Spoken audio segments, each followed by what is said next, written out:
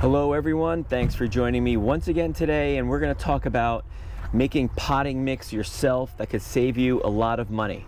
Now when I go to the big box stores, Home Depot, Lowe's or wherever it is, you'll likely find something like this on the shelf or in the, on a pallet outside. You know, uh, one example is this Miracle-Gro and Miracle-Gro has a great name for um, uh, plant food for example. I used to use it and still do uh, quite often and it really helps uh, with your, your plant's growth. But they also make things like this, this potting mix in a bag and um, utilizing the great brand strength of potting mix or Miracle-Gro And the reality though is, is that it's nothing more than peat moss, compost, perlite, and maybe a little fertilizer. So you can do this yourself and save, save quite a bit of money. And by the end of this video, I'm gonna share with you the cost and the cost savings by doing it yourself. So what you wanna do is mix peat moss, one part peat moss, one part compost, and a half part of perlite. What perlite is, I'm gonna get some out here. It's this stuff here that you've seen in uh, potting mix before. It feels like um, like a styrofoam almost, but it absorbs moisture and helps the moisture to stay in your soil so that your where your roots can continue to feed. If you want to, now Miracle-Gro uh, product also has a little bit of um, fertilizer in there. And you could sprinkle your own fertilizer into it if you like. You don't need that much. Or you, if you prefer, which, which is what I do, I like to use my potting mix as potting mix. And then if I want a certain type of fertilizer I'll put that around the plant afterwards. So we're gonna get into it right now. We're gonna I'm gonna use this pitcher to measure the parts. You don't have to do um, any specific thing you know as far as like a container you don't have to measure out cubic feet so it'll be uh, one of these uh, times uh, one of these for each of the uh, peat moss and also of the uh, compost and then a half of one of the uh, perlite. But I'm going to make a larger quantity. So I'm probably going to do eight, eight, and then four because I want to fill up this bin and make myself a larger quantity because I need a lot. Now, if you're only going to make, you know, if you only need a little bit, then sure, buy the bag. That's fine. Uh, and by the way, they sell these in um, in quarts. Is what, but everything else is sold in cubic feet. So you, you have to do the calculation. I've already done it for you. I'll share the savings and the cost difference at the end. Now let's get into mixing up our potting mix. Like I said, the first thing we're gonna do is our peat moss.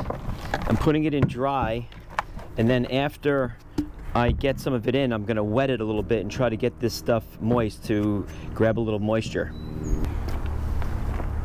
Very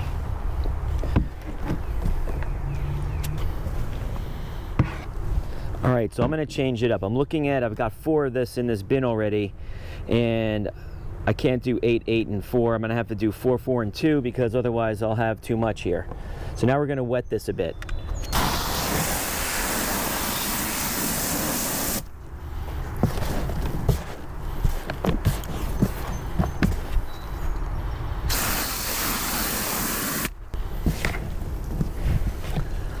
Now I'm gonna pour in the perlite because it'll be easier to mix if I've got some of it here and then we put on the uh, compost and then more perlite. It'll be easier to mix up.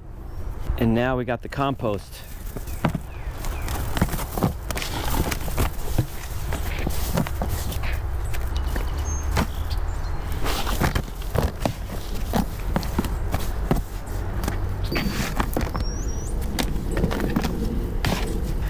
Okay, here's four.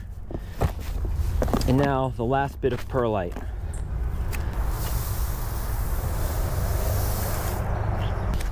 Now we just have to mix it thoroughly.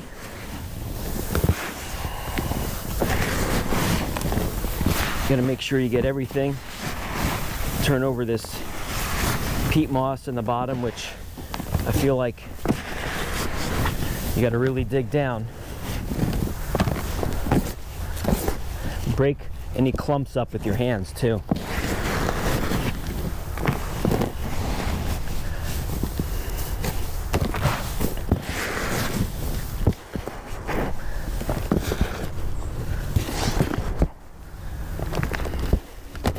So we're done with that. Now, one thing I would do differently next time, and what I would recommend to you is, you know, I'm trying to make a big bin here, but mixing that much was not easy.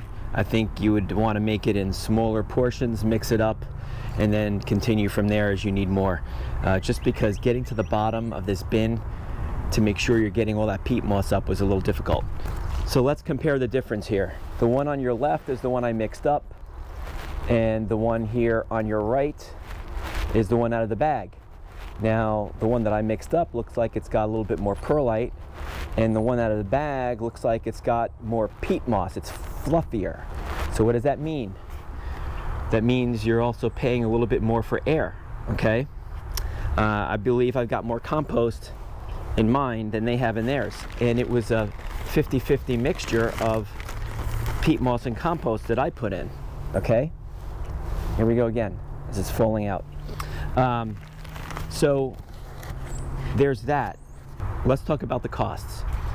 Now, when you're buying a bag like this, like I said, from, from the uh, big box store or even online, you're buying it in quarts. And we want to do the cubic foot conversion. And when I did that and compared all the costs, okay, the bag is costing you $9.60 on average per cubic foot. You might find it a little cheaper, a little more expensive wherever you shop. The stuff that I just mixed up costs $5.60 per cubic foot. It's about a 40% savings. Like I said earlier though, if you just need one bag, you need a little bit, buy the bag, it's easier. You don't want to go through the trouble of buying the items in bulk like I did. Now, the best pricing that I found for the peat moss, the compost, and the perlite was at Walmart. It was not at your big box store. It was not even at on Amazon.